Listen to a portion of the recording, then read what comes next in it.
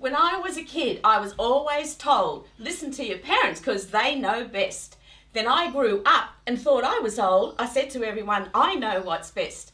And then Jesus came along and said, That's all wrong. Listen to God. Only God knows best.